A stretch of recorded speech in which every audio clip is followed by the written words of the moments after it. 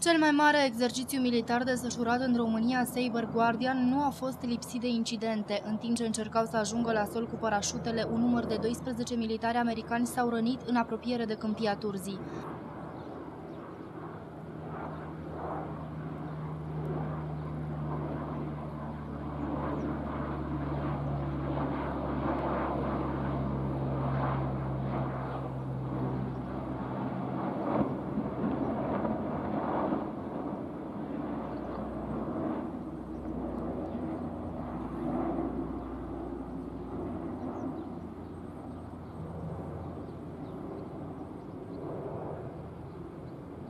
Cei 12 au ajuns la spitalul militar din Cluj, iar unul dintre ei a rămas internat din cauza unor contuzii la coloană.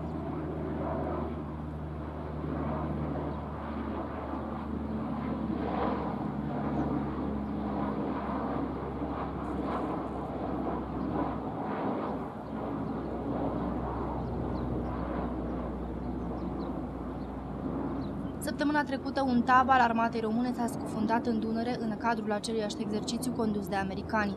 Exercițiul desfășurat la Câmpia Turzii presupunea ca 500 de militari să fie parașutați pentru a simula ocuparea bazei românești de la Câmpia Turzii.